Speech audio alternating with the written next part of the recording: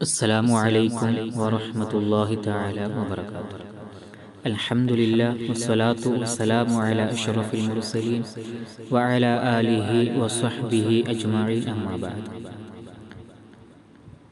മഹാനായ സയ്യിദ് അലിയുൽ ജുഹൂരി റളിയല്ലാഹു തആല എന്ന് പറയുന്നത് കാണാൻ സാധിക്കും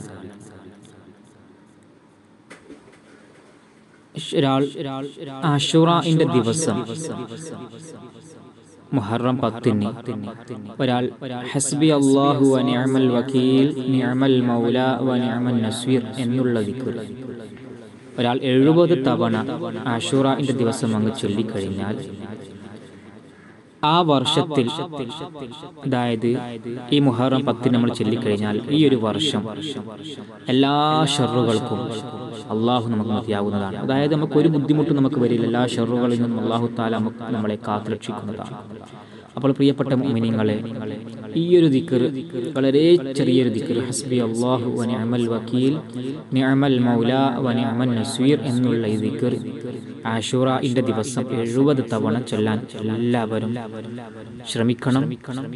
അഷുറ ദിവസം എന്നല്ല എല്ലാ ദിവസവും ഈ ഒരു ദിക്കർ പതിവാക്കി കഴിഞ്ഞാൽ നമുക്ക് വലിയൊരു രക്ഷയാണ്. നമ്മുടെ മനസ്സിന് വലിയൊരു റാഹത്ത് കിട്ടുന്ന ഒരു ദിക്കറാണ് അതുകൊണ്ട് ഈ ഒരു ദിക്കർ എല്ലാവരും ആഷുറയിന്റെ ദിവസം പ്രത്യേകം ചെല്ലാൻ ശ്രദ്ധിക്കണമെന്ന് പ്രത്യേകം ഓർമ്മപ്പെടുത്തുന്ന അള്ളാഹു നമ്മുടെ എല്ലാ ഷെറുകളെ തൊട്ട് അള്ളാഹു നമ്മെ കാത്തുരക്ഷിക്കുമാറാവട്ടെ.